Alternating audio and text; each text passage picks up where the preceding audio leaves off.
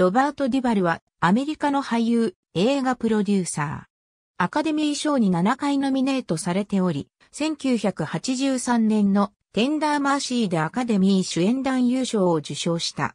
父は海軍の W.H. デュヴァル少将、母はアマチュアの女優で南軍のロバート・ E・リーの血族。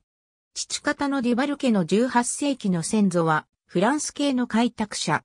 この開拓者の先祖にはイギリス系の先祖を通じてドイツ、スコットランド、ウェールズの地が少しずつ混ざっている。両親は共にバージニア出身。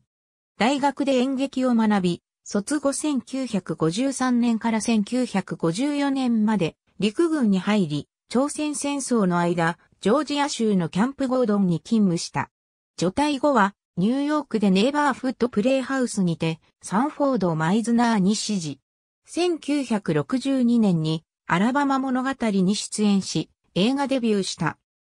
1972年、フランシス・フォード・コッポラ監督のゴッドファーザーで、コレレオーネファミリーの顧問弁護士、トム・ヘーゲンを演じ、初のアカデミー助演男優賞にノミネートされた。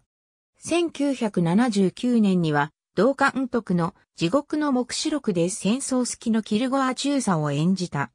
この役は最も知られている役の一つで、ゴールデングローブ賞助演男優賞、英国アカデミー賞助演男優賞を受賞し、再びアカデミー助演男優賞にノミネートされた。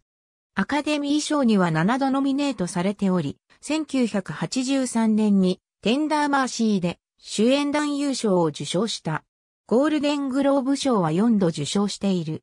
テンダーマーシーでは歌唱も披露しており、クレイジーハートでは劇中では歌うシーンはないが、サウンドトラックに参加している。これまで4度結婚しており、1998年から交際して2005年に結婚したアルゼンチン人女優のルシアーナ・ペドラサは41歳、年下である。政治的には共和党支持者で2008年アメリカ合衆国大統領選挙では共和党候補者レースではルドルフ・ジュリアーニを支持すると語った。本選では候補者に決まったマケインとサラ・ペーリンを支持した。2012年の米大統領選挙ではロムニーを支持したが、2014年には次期大統領について、今の共和党は混乱しているから、共和党員の妻も民主党にさえ投票するかもしれないし、私は独立候補に投票するつもりだと述べた。